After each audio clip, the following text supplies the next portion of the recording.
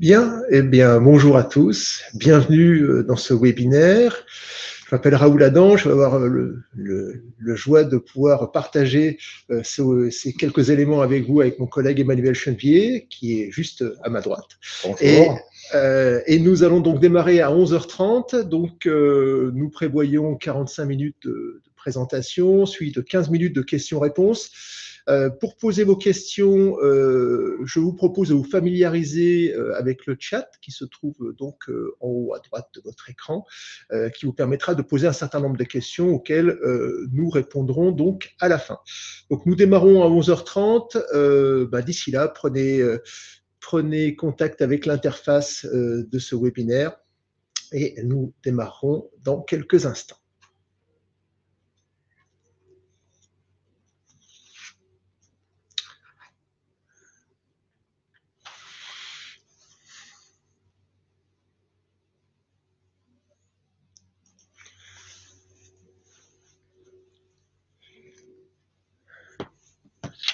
Je crois qu'il nous reste une minute avant de démarrer.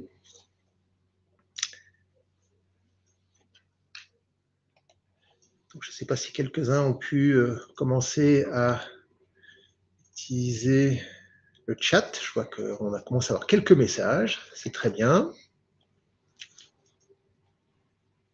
Donc, évidemment, nous ne pourrons pas forcément répondre à toutes les questions du chat, mais euh, on sélectionnera quelques-unes euh, à la fin de notre échange. Bien, bah, il est 11h30, euh, il est temps de démarrer. Donc euh, bonjour à tous, bienvenue dans ce webinaire. Nous vous avons prévu euh, une heure de webinaire à passer ensemble, structuré en deux parties, 45 minutes de présentation que j'aurai le plaisir de faire avec mon collègue Emmanuel Chenevier, et puis 15 minutes de questions-réponses. Donc ce webinaire sera enregistré, vous aurez la possibilité de ré réutiliser le lien de replay qui vous sera envoyé dans, quelques heures. Et avec le lien de replay, vous aurez aussi euh, une copie de la présentation que nous allons euh, partager avec vous, avec Emmanuel. Voilà, donc pour mémoire, vous avez le chat qui est à votre disposition si vous souhaitez euh, poser des questions. N'hésitez pas, ça sera d'autant plus intéressant d'avoir des échanges autour des thèmes qui vous intéressent. Alors, je vous propose euh, donc euh, de commencer par euh, une petite présentation rapide. Donc, moi, pour ma part, je m'appelle Raoul Adam, je suis directeur de projet au sein de Segos. Alors, Segos est un organisme spécialisé dans le secteur de la formation. On a une activité de formation packagée, hein, donc dire un petit peu sur étagère standard, que l'on fait à la fois en inter-entreprise et en intra. Et puis on a une activité sur mesure euh, qui est fortement développée aussi, dans laquelle on a un certain nombre de domaines euh, d'expertise clés.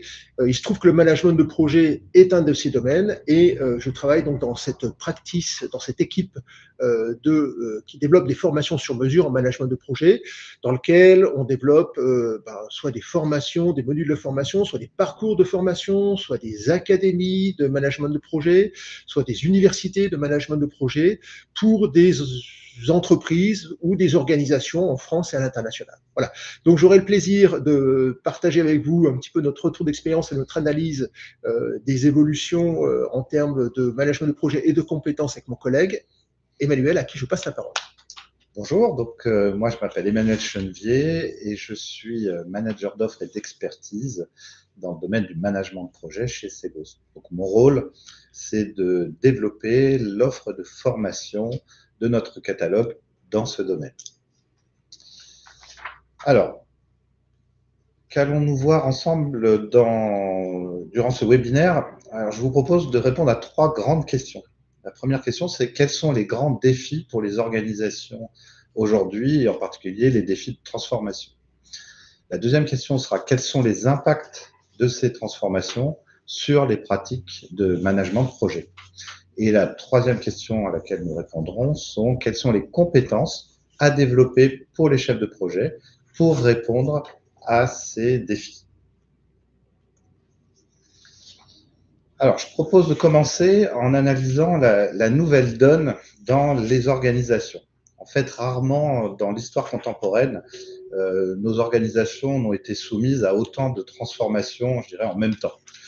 Et je vous propose de les illustrer, ces transformations, en utilisant, euh, alors certains connaissent sans doute le nom du modèle de Pestel, qui permet d'analyser les facteurs externes qui impactent les organisations et qui sont facteurs de transformation.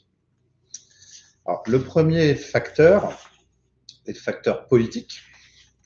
Donc, bah, vous êtes bien placé pour savoir que bah, l'environnement politique est plutôt instable en ce moment, avec des conflits aux frontières de l'Europe, euh, des logiques de protectionnisme aussi qui se mettent en place dans différents pays, et une instabilité politique pratiquement dans tous les, dans tous les pays euh, du monde.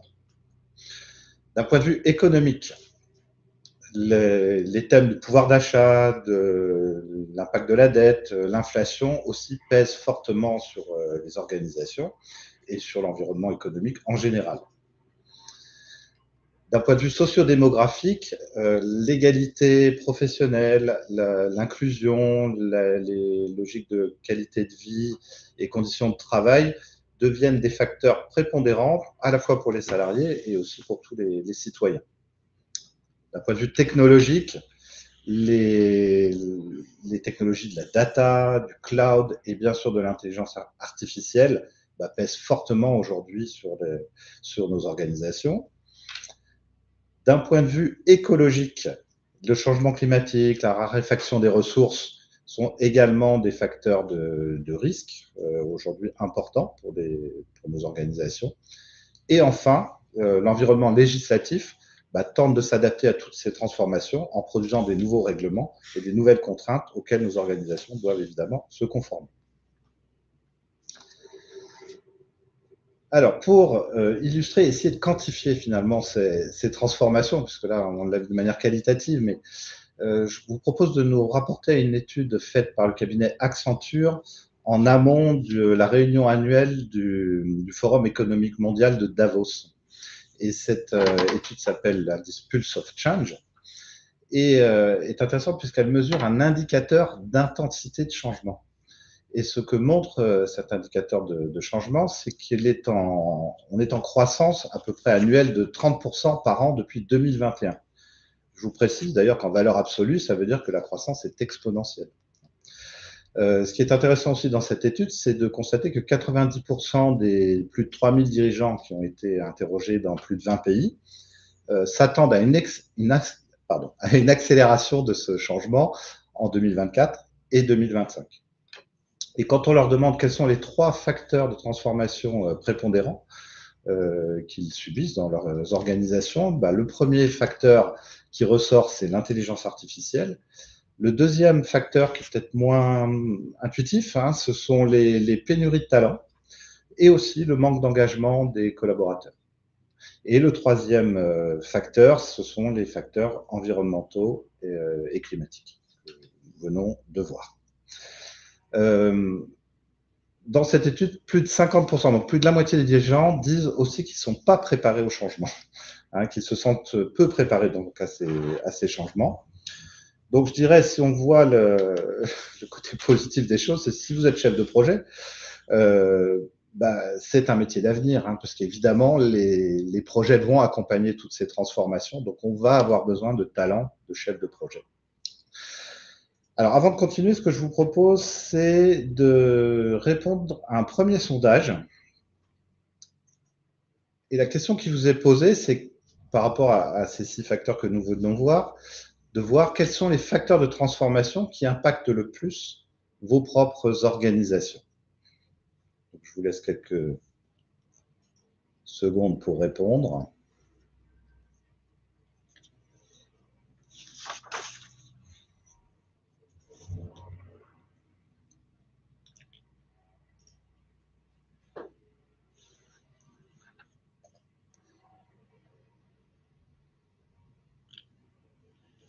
Alors, ça, ça, évolue. Donc, je...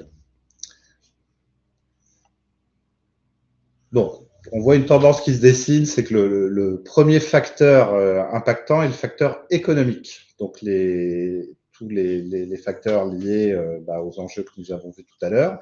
Le deuxième facteur est technologique, et j'imagine que derrière cette technologie, on voit poindre euh, l'intelligence artificielle. Et le troisième euh, facteur quasiment à égalité, donc le facteur politique, et donc l'instabilité politique en cours, et le facteur écologique. Donc on rejoint, je dirais, les, de manière assez proche finalement ce que les dirigeants qui ont été interrogés par Accenture nous ont dit précédemment. Bien, donc on a un environnement qui euh, est euh, très transformant, hein, dans lequel il y a, beaucoup euh, d'inducteurs de, transformation. Et donc ce que je vous propose maintenant, c'est de regarder eh ben, en quoi le management de projet est, est, impacté par ces transformations. Et avant peut-être de se projeter sur la situation d'aujourd'hui et de demain en management de projet, on vous propose une brève histoire du management de projet parce qu'on a pensé que, on dit souvent que l'histoire éclaire l'avenir et donc c'est très intéressant peut-être de faire une petite rétrospective euh, sur euh, le management de projet ces, dernières décennies.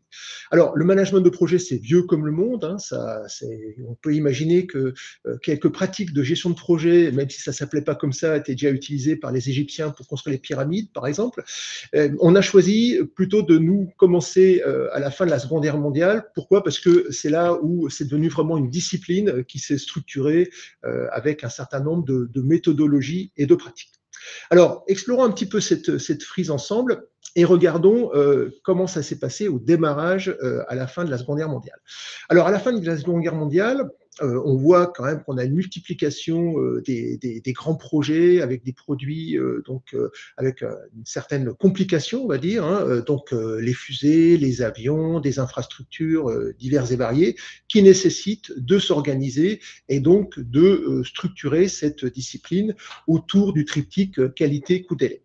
Alors, on est dans un monde euh, très prédictif, hein, assez stable, hein, dans lequel, euh, ben, en fait, le, les, chefs de projet sont principalement attendus sur leur capacité à, prévoir une trajectoire euh, sur leur projet, qualité, coût, délai, et à suivre cette trajectoire dans la phase de réalisation. Donc, ce qu'on attend des chefs de projet, c'est vraiment une posture de conformité, dire ce qu'il va faire, faire ce qu'il a dit, et être le plus proche possible du plan euh, qui était prévu initialement, sachant que on est dans un environnement assez stable, donc sauf aléas euh, inattendus, euh, il n'y a pas de raison de ne pas pouvoir atteindre les objectifs. Donc la posture du chef de projet, là, c'est vraiment une posture d'exécution, d'exécution conforme. Hein. On est vraiment dans une logique de conformité par rapport au plan. Euh, et pour à atteindre cette conformité, on va se douter d'outils, de, méthodes. Euh, c'est là qu'elles euh, sont apparues euh, le PERT, le Gantt, les outils de planification, la coutenance, etc., etc. Donc une, une, approche très méthodologique de la gestion de projet avec des méthodes, des outils de gestion de projet pour préparer le plan et tenir le plan. Alors, Suite à cette phase de gestion de projet, on va rentrer dans les années 80-90 dans une époque plutôt de management de projet. Alors qu'est-ce qu'on constate? Tout d'abord, on constate que obtenir un résultat, une réussite d'un projet, c'est pas seulement une question de méthode et d'outils, c'est aussi une question euh, d'équipe, de performance d'une équipe, une équipe qui devient de plus en plus multidisciplinaire avec la multiplication euh, des techniques, hein, euh, l'arrivée de l'informatique, de l'électronique, de la mécatronique, etc., etc. Et puis c'était aussi le monde, le, le, la, démarrage de la mondialisation, donc avec des équipes aussi qui peuvent être multiculturelles. Donc on attend du chef de projet qu'il soit aussi, on va dire, un manager d'équipe transversale, et donc ça va être quelque chose euh, vraiment de prégnant euh, dans l'évolution des compétences des managers euh, de projet.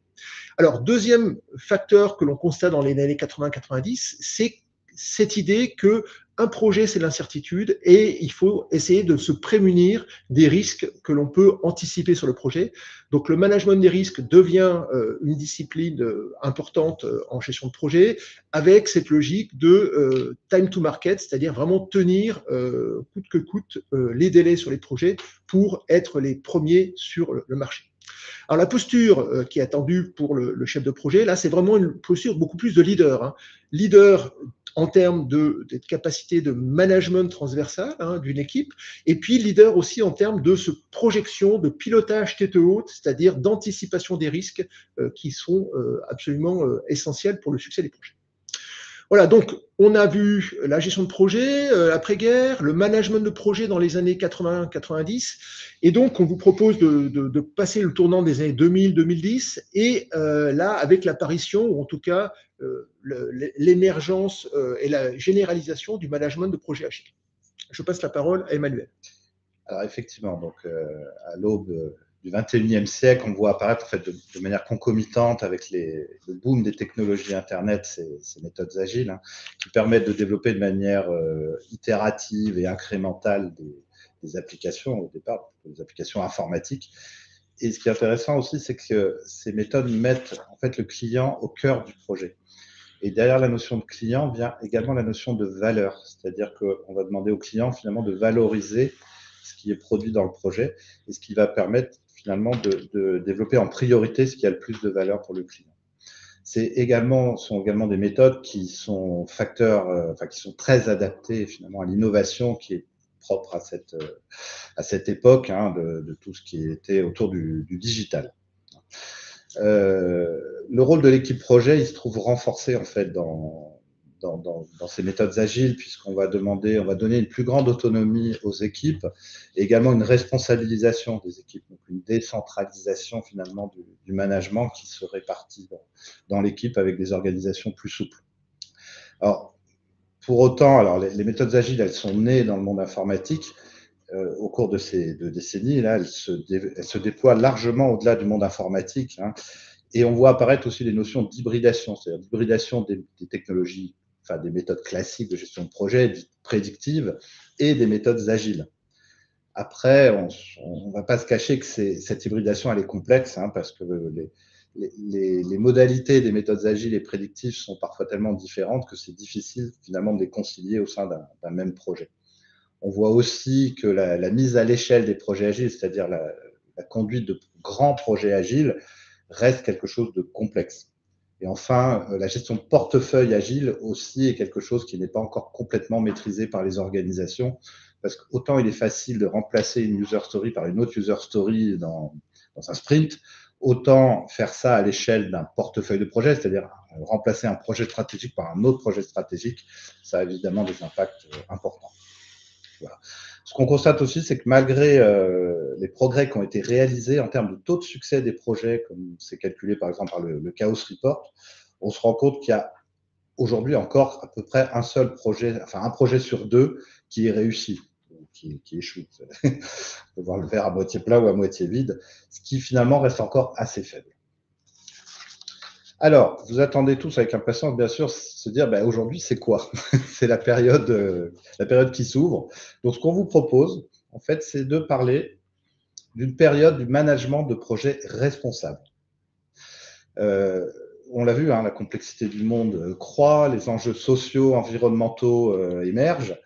Euh, on va parler plus seulement de valeurs économiques, mais on va parler de valeurs au pluriel. Et dans les valeurs au pluriel, on va intégrer des valeurs bah, justement sociales, environnementales.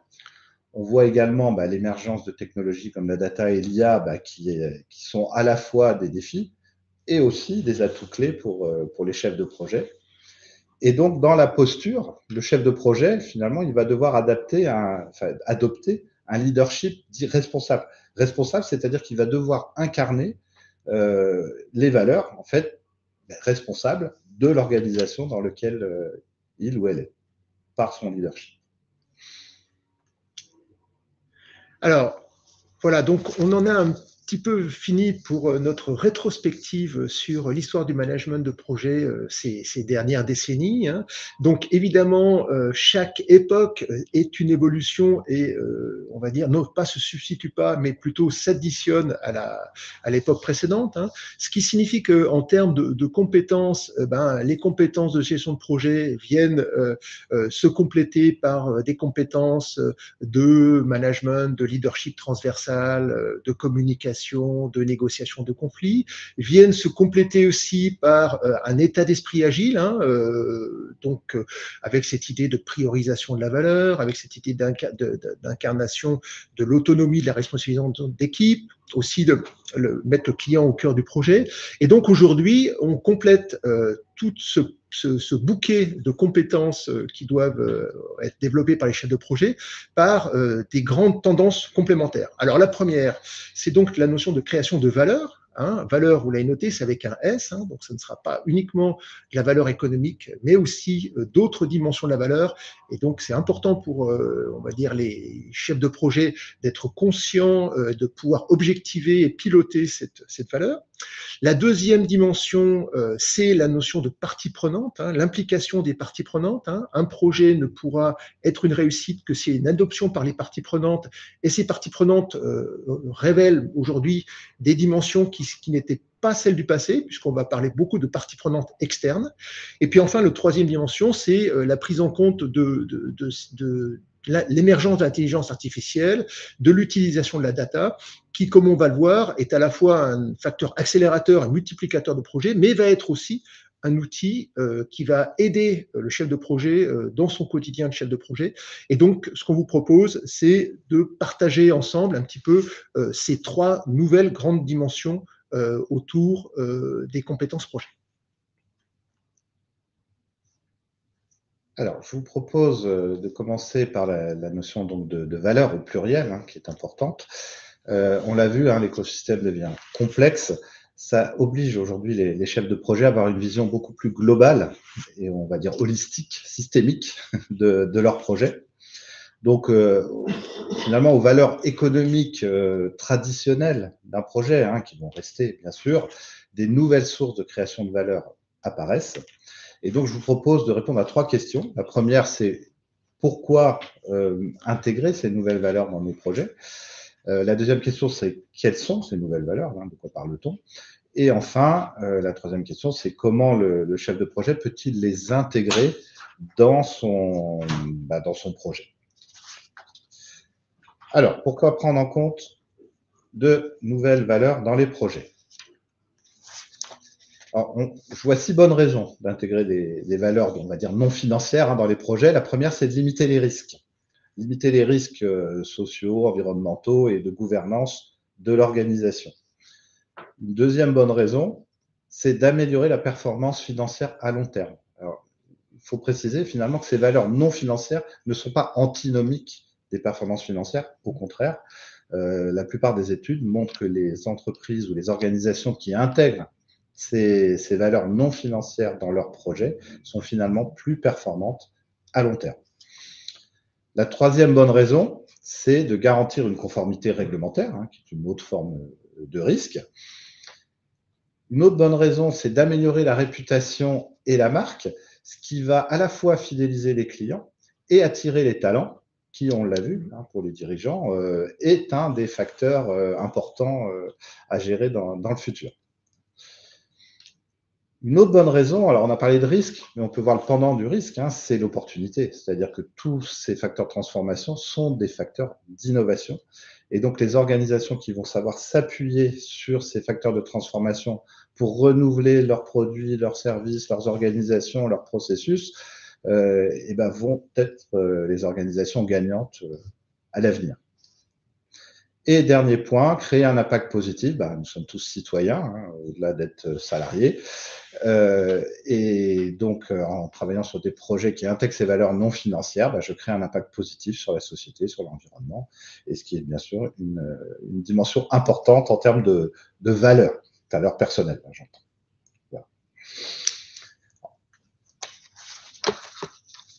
Alors, de quelle valeur parle-t-on? Euh, pour illustrer en fait les nouvelles valeurs, je vous propose de nous baser sur euh, l'approche de la responsabilité sociétale des entreprises, donc qui est formalisée dans l'ISO 26000. Euh, cette norme ISO 26000, elle définit sept euh, thèmes centraux pour les organisations que je vous propose d'illustrer pratiquement par des exemples. Finalement, qu'est-ce que, comment ces thèmes se déclinent pour un chef de projet pratiquement. Donc le premier thème, c'est celui que vous voyez, c'est l'implication des communautés et le développement local.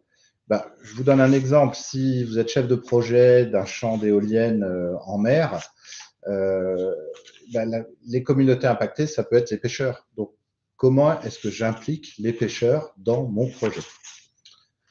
Un deuxième thème sont les droits de l'homme. En tant que chef de projet, je dois me préoccuper de savoir si les contrats que j'ai avec mes, prestataires dans le projet intègrent des, des, thématiques ou des clauses spécifiques sur le respect des droits de l'homme, par exemple comme le, non-travail des enfants. Un troisième thème sont les relations et conditions de travail. Ben, je suis chef de projet, j'anime une équipe projet, donc je dois me préoccuper de mon mode de management sur le, bien-être de l'équipe, par exemple. Euh, je peux donner un autre exemple, c'est le droit à la déconnexion de l'équipe euh, à partir d'une certaine heure euh, ou pendant les vacances ou les week-ends. Autre thématique, les bonnes pratiques des affaires. Bah là, ramenons-nous, enfin, on peut tout simplement proposer au chef de projet d'appliquer le code de déontologie et de conduite euh, professionnelle qui est promu par le PMI et qui définit quatre grandes valeurs essentielles, hein, qui sont l'honnêteté, la responsabilité, le respect et l'équité. C'est bien sûr un beau programme.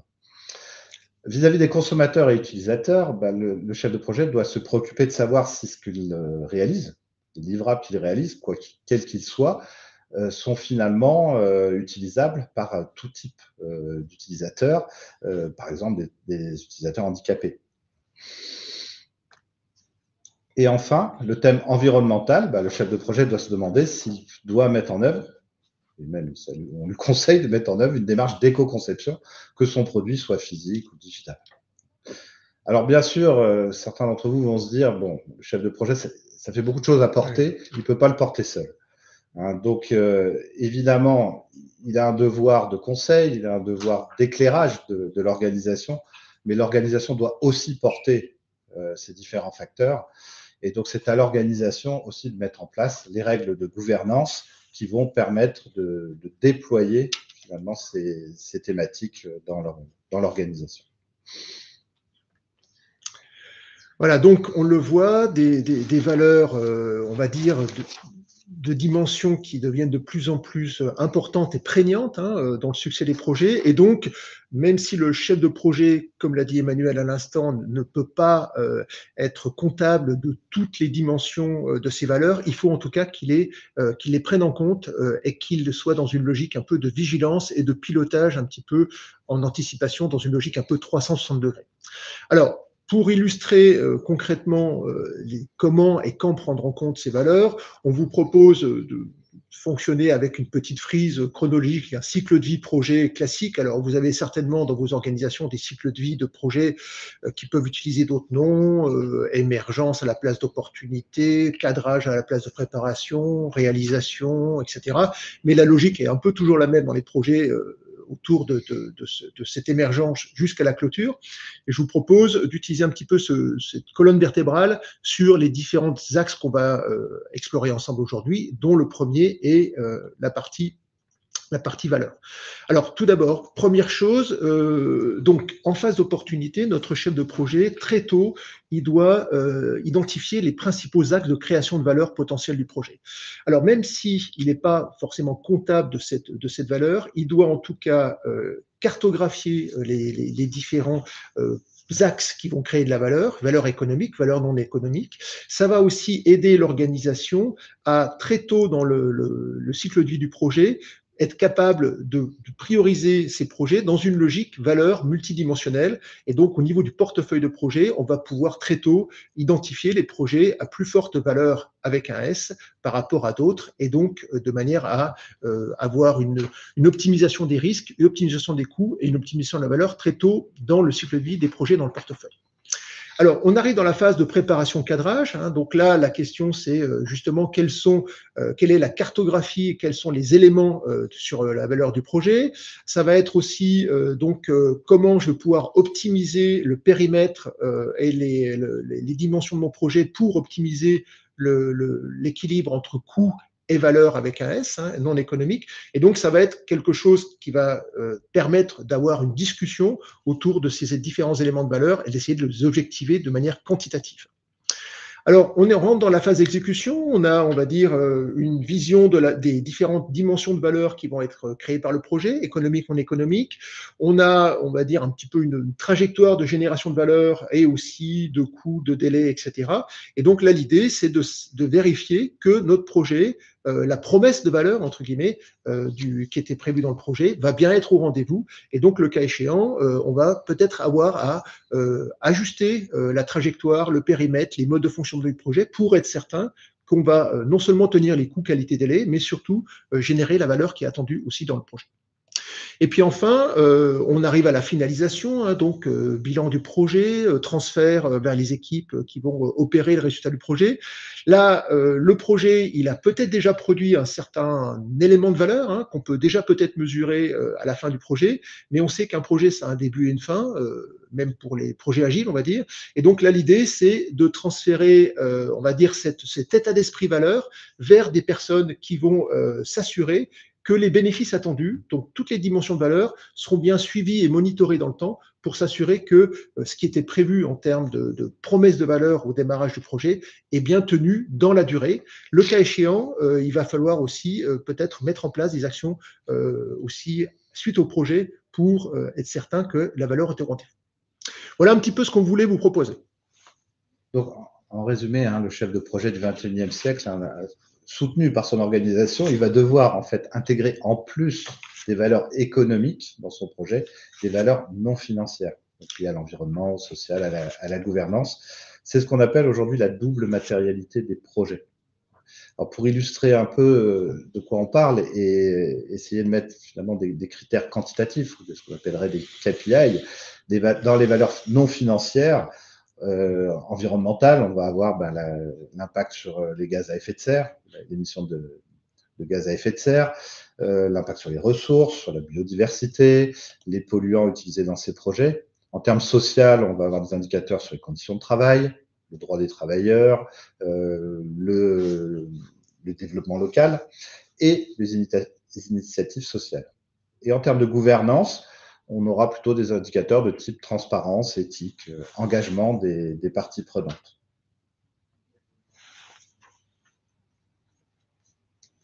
Alors, je vous propose, pour clore cette euh, séquence, un deuxième sondage. Et la question qui vous est posée, c'est quelles sont les deux valeurs clés prioritaires à intégrer, d'après vous, dans vos projets aujourd'hui? Alors, vous avez donc quelques instants pour, euh, pour répondre.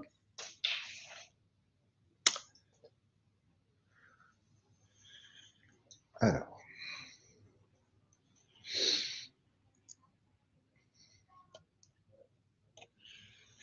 ça reste relativement équilibré, mais c'est intéressant, parce qu'on voit que la valeur financière n'est plus la valeur prépondérante. Mmh.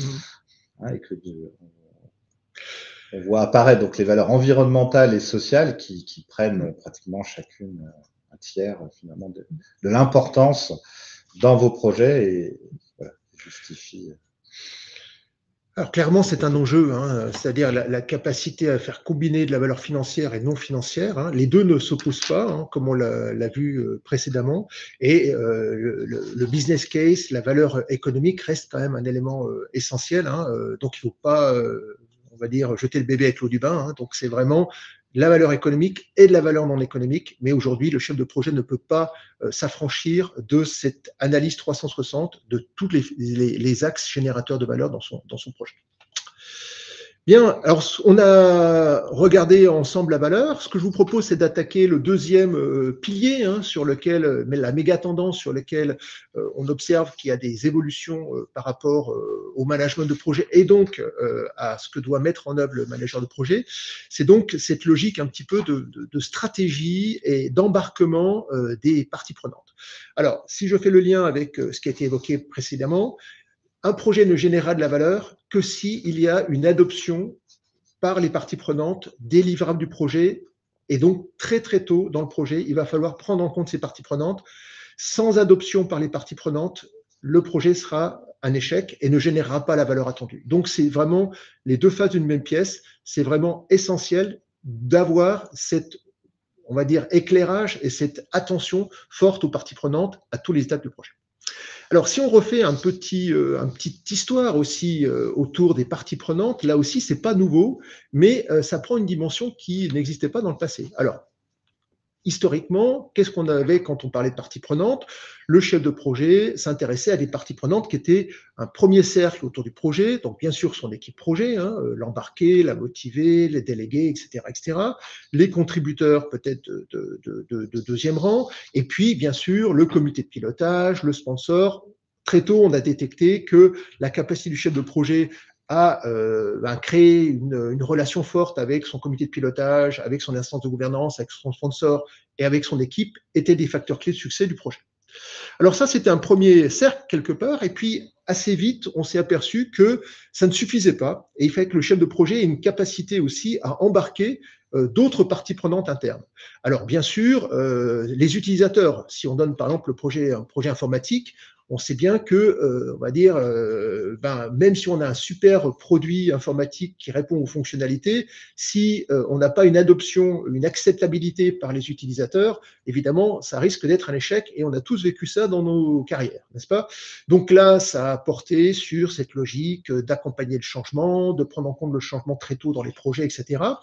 Euh, on peut aussi parler des managers. Hein. Euh, par exemple, très tôt, euh, les chefs de projet se sont bien rendus compte qu'il fallait en faire des alliés et pas des opposants, parce que ces managers étaient aussi des managers hiérarchiques, des managers des utilisateurs, etc. Et puis enfin, la capacité du chef de projet à travailler avec la gouvernance et sa direction était aussi un élément essentiel pour faire prendre des décisions qui étaient favorables au projet. Alors, on était sur une deuxième dimension, et puis ensuite, il y a une troisième dimension qui s'est venue se rajouter, et celle-ci, elle, devient vraiment, elle s'impose avec une acuité plus forte aujourd'hui, ça concerne les parties prenantes externes. Alors, ces parties prenantes externes, c'est en lien justement avec cette dimension un peu durable et soutenable du projet. C'est-à-dire que euh, bah, il faut prendre en compte les fournisseurs, les sous-traitants. Hein, euh, on l'a évoqué tout à l'heure, hein, euh, avec une relation au plus juste avec eux, tant contractuelle que relationnelle. Les clients, bien sûr, l'engagement des clients, l'adoption par les clients, ça va être essentiel en termes d'image de marque, d'utilisation, etc.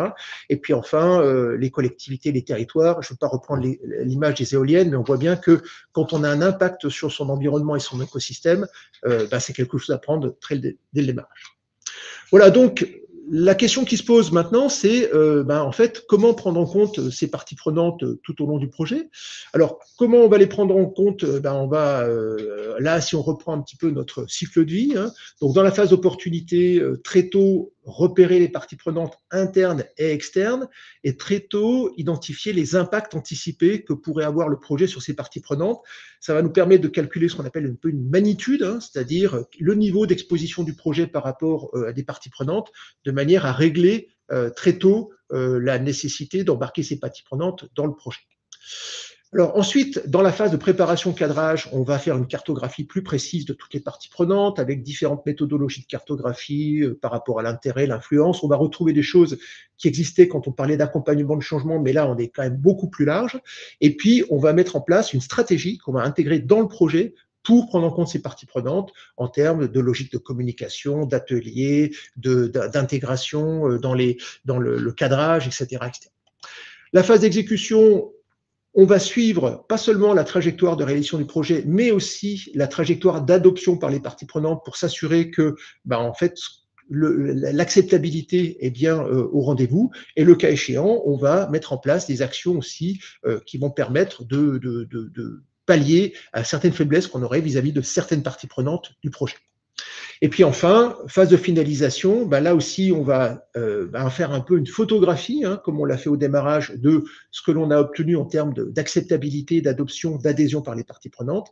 Et puis, on sait que ben, l'adoption et l'adhésion par les parties prenantes n'est pas euh, forcément euh, acquise dans la durée. Donc, ça va être aussi post-projet. Qu'est-ce qu'on va mettre en place pour euh, continuer à mesurer euh, cette adoption et puis aussi renforcer euh, cette acceptation si nécessaire. Voilà un petit peu, deuxième pilier, partie prenante, euh, élément clé pour générer la valeur. Alors, je vous propose d'aborder maintenant le, troisième et dernier thème qui sont euh, finalement l'impact de la data et l'IA sur les chefs de projet.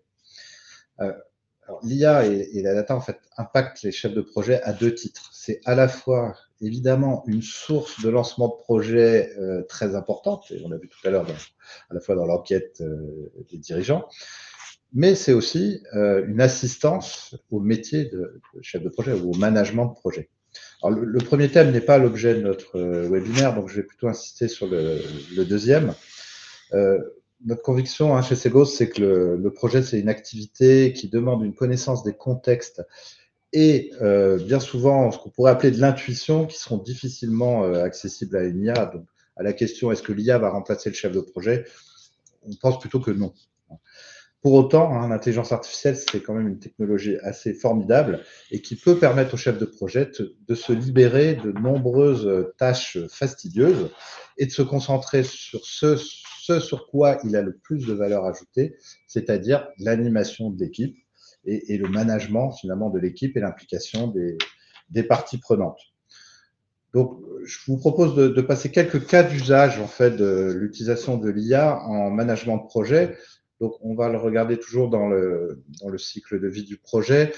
Euh, je ne vais pas tout vous lire, vous, verrez ça dans le, support, mais en phase d'opportunité, par exemple, euh, l'IA peut vous aider à rédiger une fiche d'opportunité.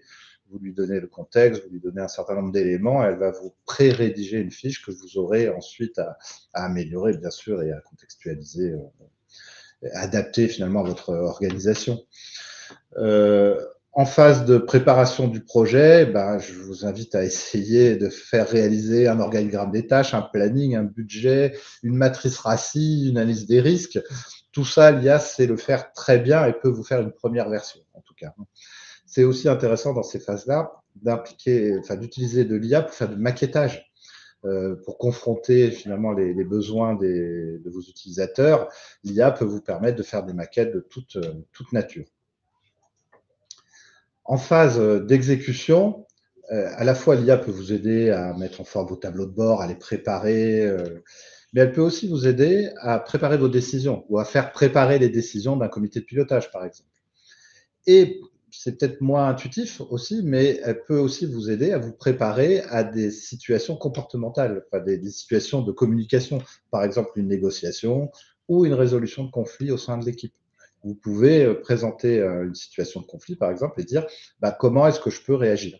Et l'IA va vous proposer des, des, des principes d'action vis-à-vis de l'équipe. Voilà. Et en phase de finalisation, bah, L'IA sait faire des synthèses, donc si vous la nourrissez avec tout ce que vous avez récolté pendant le projet en termes de data, euh, vous pouvez obtenir des synthèses et des retours d'expérience qui sont très intéressants pour, euh, pour les projets futurs. Et vous pouvez aussi, par exemple, utiliser l'IA pour préparer des formations, pour accompagner le changement dans les livrables de, votre projet. Alors, pour euh, conclure, je vous propose de passer maintenant aux, compétences finalement qui nous semblent importantes que les chefs de projet développent bah, pour faire face à tous ces, défis et, l'impact sur le, métier de, la gestion de projet. Alors, le premier thème est relatif aux valeurs dans les projets. Donc, bah, il nous semble important que les chefs de projet soient pleinement conscients hein, des, enjeux, des, enjeux, RSE de, leurs organisations et donc ils se forment à ces enjeux, qu'ils comprennent de quoi ils retournent. Euh, les chefs de projet vont devoir aussi réaliser des business cases qui intègrent non seulement les valeurs économiques, mais demain les valeurs, enfin même aujourd'hui, les valeurs sociales, environnementales, etc. Donc, à faire évoluer euh, le, leur business case. Et enfin, nous l'avons vu, hein, les chefs de projet vont devoir également être capables de mettre en œuvre des démarches d'éco-conception, qu'on soit sur des projets euh, de livrables physiques ou des livrables euh, digitaux. Voilà, donc premier pilier, la valeur, les valeurs dans les projets, hein, comme vraiment élément de focalisation euh, très très très très tôt du chef de projet qui doit avoir euh, conscience de, toutes ces dimensions valeurs et les piloter. La valeur ne sera acquise que si les parties prenantes sont engagées, donc euh, développer vraiment aussi ses compétences autour de tout ce qui concerne la cartographie des parties prenantes, les analyses des parties prenantes en termes d'adoption, de, de, d'acceptabilité, d'intérêt, d'influence, etc. Mettre en place des plans d'action et utiliser les bons leviers aussi. Donc, ça va être quelque chose qui va devenir euh, vraiment tout à fait crucial. Bien sûr, euh, il y a ces outils, on va dire, un petit peu de, de repérage hein, euh, et puis de modélisation, mais il y a aussi surtout toute la capacité personnelle du chef de projet d'avoir, de développer une stratégie d'influence, de renforcer la coopération, d'avoir des talents de communication. Donc, on voit bien qu'en fait, ces compétences ne font pas table rase du passé, mais au contraire, renforcent euh, des éléments qu'on a vu apparaître ces dernières dizaines d'années. C'est ce qu'on appelle un peu les soft skills hein, en management de projet.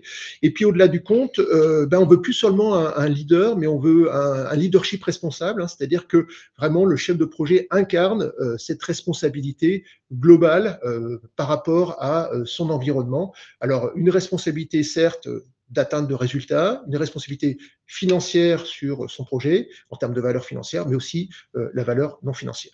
Voilà, donc valeur, partie prenante, et puis enfin. Et enfin, intelligence artificielle donc, euh, dans les projets. Donc, on l'a vu, le chef de projet doit maîtriser les principes de l'IA. on ne va pas demander à tous les chefs de projet d'être des super experts de l'intelligence artificielle. En tout cas, ils doivent en comprendre la technologie, l'écosystème, les acteurs aussi, pour pouvoir les intégrer dans un projet. Un chef de projet métier n'a pas forcément besoin de connaître le détail des technologies, mais il doit en comprendre tous les tenants et les aboutissants pour pouvoir les fédérer finalement au sein de son projet et savoir comment les impliquer dans le projet. Au-delà de, l'aspect purement euh, intelligence artificielle, un chef de projet, il va devoir aussi maîtriser les démarches d'innovation qui sont particulièrement adaptées au développement de, projets IA, tels que le design thinking, le lean startup, donc toutes ces méthodes hein, qui nous viennent de Californie. Bien sûr, l'agilité aussi, puisque l'agilité est, une méthode clé, de gestion de l'innovation et les techniques de créativité pour pouvoir accompagner les équipes dans les réflexions autour des développements justement de nouvelles, euh, applications de ces technologies.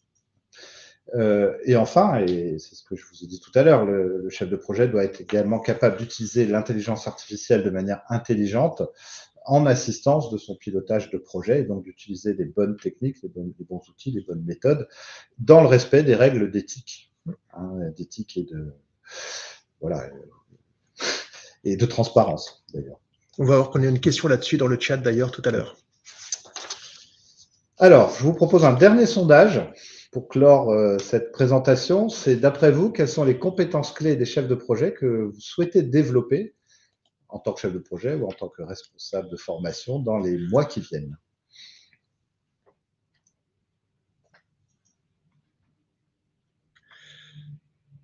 Donc là, vous avez un petit peu plus de choix.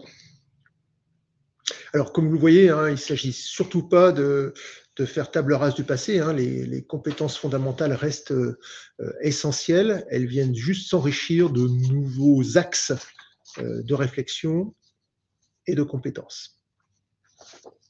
Alors, on voit que l'intelligence artificielle tient la corde avec 32%, 30%, donc un gros tiers. Innovation créativité en deuxième. Et en troisième, la sensibilisation aux enjeux RSE.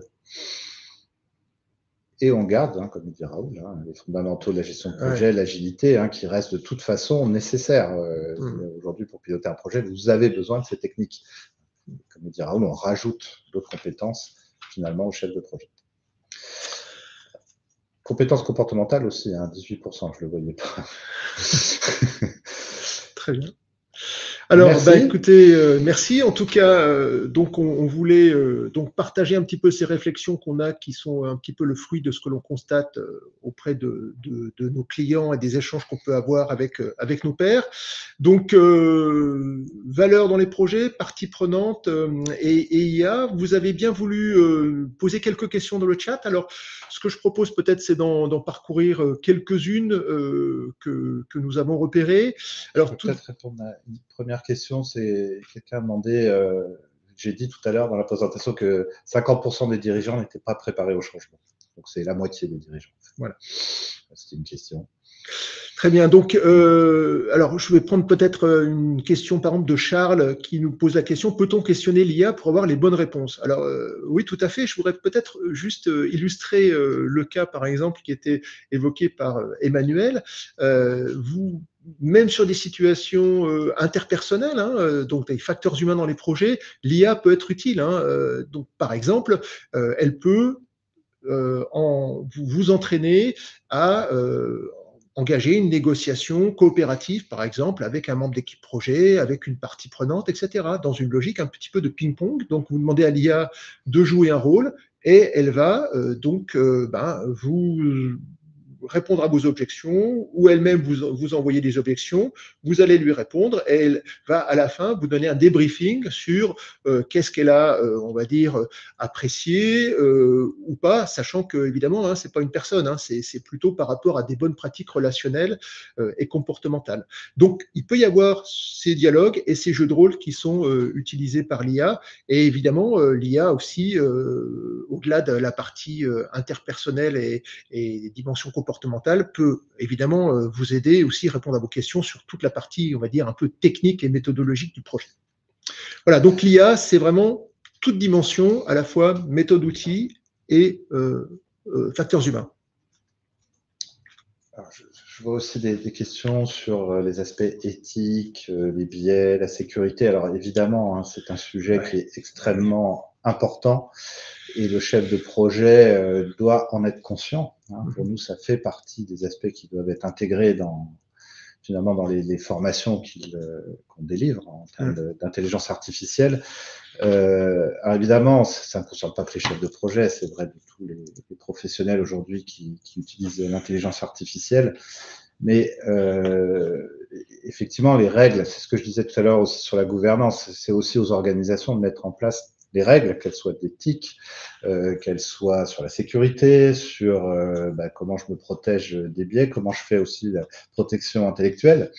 Euh, donc c'est le chef de projet doit en avoir conscience. Il ne peut pas tout seul dans son coin utiliser une IA et rentrer des informations confidentielles de l'organisation euh, pour réaliser par exemple une fiche d'opportunité, comme on l'a dit tout à l'heure. Hein. Donc, il doit avant se poser la question de ce qu'il peut faire, ce qu'il ne peut pas faire, et et des outils aussi que met à disposition son organisation. Et c'est vrai qu'on toutes les organisations ne sont, pas dotées d'un code éthique vis-à-vis de l'IA, d'une charte des, usages de l'IA. Donc, quelquefois, on voit effectivement des chefs de projet un peu démunis par rapport à ça. Bon, euh, nous, en tout cas, dans les formations que l'on développe, tant sur la partie, euh, on va dire, sur étagère que sur la partie sur mesure, on est très en vigilance sur ces sujets-là à titre d'information, juste pour vous le dire, on utilise nous aussi au sein de Segos euh, des outils hein, d'IA et on, est doté d'un code d'éthique euh, et d'une charte euh, d'usage de ces outils-là. Donc ça nous aide beaucoup, ça nous sert, un peu de, ligne de vie, un peu de, guide pour bien avoir en tête un peu les risques associés à, ces outils-là. Alors peut-être une autre question, alors qui, est plus difficile hein, à répondre, c'est comment porter les valeurs dans les projets sans réelle feuille de route stratégique? C'est là, vous mettez le doigt bah, sur ce, que ce que je vous ai dit tout à l'heure, c'est-à-dire que c'est vrai que le chef de projet tout seul, il ne peut pas porter tous ces enjeux euh, seul sur son organisation. Donc, pour moi, à minima, il doit être capable de les identifier, euh, d'alerter, de les intégrer, par exemple, dans une fiche d'opportunité ou une fiche de cadrage. Euh, le chef de projet ou la chef de projet peut tout à fait identifier non seulement les valeurs économiques du projet, mais aussi toutes ces valeurs que nous avons citées. Et dire, ben voilà, attention, le projet aura tel impact sur l'environnement, sur euh, les communautés, sur euh, les impacts sociaux, et les écrire dans sa fiche de, cadrage. Voilà, donc il a à minima pour moi un rôle d'information. Après, euh, effectivement, à lui ou à elle aussi d'aller porter ça auprès des décideurs de, de l'organisation, mais là, il, aura, il, ou elle aura moins, euh, je dirais, la main sur, euh, sur cette feuille de route stratégique. Voilà, alors je, rebondis avec une autre question dans le chat. Y a-t-il un livre qui puisse aider à utiliser l'IA, donner des aides à prendre en main? Alors, pour ce qui concerne la notion de, livre, c'est vrai que le livre n'est pas forcément ce que l'on préconise, nous, en termes de, suivi euh, de, cette vague IA parce que euh, ben, le livre, ça a vite une date de péremption hein, et donc euh, la, fraîcheur des informations peut s'en trouver un petit peu impactée. Donc on, suggère plutôt de, s'intéresser à, d'autres dispositifs. Alors bien sûr, chez Segos, on fait des formations et on les met à jour à un rythme très élevé hein, sur ces sujets-là IA. Et puis il y a aussi un certain nombre d'acteurs professionnels qui sont par exemple des organismes comme le Project Management Institute qui sont très actifs sur ces sujets et qui, euh, à la fois au travers de conférences, de webinaires et puis aussi euh, d'un outil d'IA qu'ils euh, qu'ils commencent à, à, déployer auprès de leurs membres, sert aussi à aide et permet on va dire, d'être en exploration et en, test grandeur nature sur euh, euh, tout ce que l'on peut faire aujourd'hui avec des IA dans le domaine du management de projet. Donc, euh, c'est n'est pas forcément les livres que nous recommandons, on recommande plutôt, on va dire, la veille à la fois auprès d'instances professionnelles ou de, de, différents outils sur le web et au travers de dispositifs de formation aussi. Alors, je vois une question sur. On ne parle pas de benchmark pour enrichir la gestion de projet. Alors, si, si, bien sûr. C'est ce que je vous disais à la fois dans les retours d'expérience, justement. C'est vrai qu'on est au tout début de ce, ce, phénomène, donc il faut voir comment il va évoluer. Mais euh, ce que je vous disais, c'est il peut être intéressant de nourrir en fait, par exemple, une intelligence artificielle avec toutes ces données, justement pour enrichir euh, les pratiques et, et les, les, les, data sur la façon de mener les projets, ce qu'on y rencontre. Euh, D'ailleurs, à ce sujet, je vous signale que le PMI vient de sortir sa propre intelligence artificielle, mmh. qui, euh, qui est très intéressante parce qu'elle est focalisée sur la gestion de projet et justement, elle intègre des benchmarks euh, internationaux euh, nombreux à travers toute sa communauté de chefs de projet. Donc, euh, ça, c'est quelque chose qui est tout récent, donc il faut encore mm. l'utiliser. Mais je vous invite à, aller, aller la tester parce que c'est tout à fait intéressant pour une communauté de chefs de projet. Voilà. Alors, n'hésitez pas à poser des questions supplémentaires dans, dans le chat. Euh, on a des questions sur les outils euh, d'IA recommandés. Donc, euh, bon, je pense que c'est un monde qui évolue énormément euh, très vite. Donc, on, vous propose de ne pas aller trop dans ce, dans, dans ce sens-là. en tout cas. Les outils, en fait, sont. Ça, dépend des choix aussi de l'organisation dans laquelle vous êtes. Hein une organisation peut faire le choix de Microsoft, une autre d'OpenAI. Enfin, donc là, là, ce serait difficile finalement de vous, imposer, sachant que toutes ces IA, euh, je dirais, fonctionnent à peu près sur les mêmes, les mêmes ressorts. Mm. Voilà. Après, je, aussi, je vous conseille celle du PMI parce que celle-là, on peut dire qu'elle est vraiment orientée gestion de projet, donc elle est nourrie à la gestion de projet. Et donc, on peut, je peux peut-être illustrer le fait que, par exemple, on a, on a deux, deux grands clients, un secteur industriel, un secteur, euh, on va dire, financier, qui se sont dotés d'outils d'intelligence artificielle interne, l'un plutôt dans l'environnement euh, Google avec Gemini, l'autre avec euh, ChatGPT, mais une version interne 3.5. Et, donc, ben, les, formations, les usages, etc., que l'on dispense, par exemple, prennent en compte des études de cas, des cas d'usage avec euh, l'utilisation de ces outils, justement pour, en tant qu'assistant et qu'accélérateur euh, du chef de projet. Donc, c'est, ça va permettre justement de tester euh, toute cette logique un petit peu de, d'automatisation de tâches pas forcément à grande valeur ajoutée, qui était celle des chefs de projet, ce qui va permettre aux chefs de projet, et je vois un petit peu ma paroisse là, hein, de, s'intéresser beaucoup plus à ce, cette logique un peu de pilotage tête haute et de d'identification un peu des signaux faibles vis-à-vis des parties prenantes, etc. Donc, euh, ça, libère le chef de projet, on va dire, de contraintes euh, un peu techniques euh, qui lui permettent de dégager du temps et aussi de la vigilance par rapport à d'autres facteurs clés de succès dans son projet. Voilà. Alors, euh, on arrive un peu au terme de notre, euh, webinaire. Donc, euh, on voulait juste vous remercier pour votre participation. comme je l'ai indiqué au démarrage, vous aurez, vous allez recevoir un lien pour le replay de cette présentation, de cette séance de questions-réponses à la fin. Vous aurez aussi l'ensemble des supports qui vous seront transmis. Et puis, nous restons à votre disposition aussi pour, euh, on va dire, répondre à vos questions sur les euh, indications que vous avez euh, ici en termes de numéro de téléphone et de site web. Je voulais juste rajouter, si vous êtes intéressé par ce sujet de l'intelligence artificielle, et vous l'êtes, si je vois vos, questions, vous pourrez trouver dans le document un lien vers un, billet de, de, MAG que nous avons écrit sur notre site web et qui sera dans le support que vous allez pouvoir télécharger. Voilà. Il nous reste à vous remercier pour votre participation. Merci beaucoup. Euh, c'était vraiment euh, très intéressant de, pour nous aussi hein, de vous faire partager ces éléments-là. Et puis, euh, ben, en fait, on vous a décrit une petite histoire du management de projet avec, on va dire, la situation d'aujourd'hui et, et de demain. Mais nul doute que c'est une histoire qui va continuer et qui va certainement s'enrichir. Donc on espère avoir l'occasion de repartager avec vous prochainement. Merci à vous. Merci. Au revoir. Au revoir.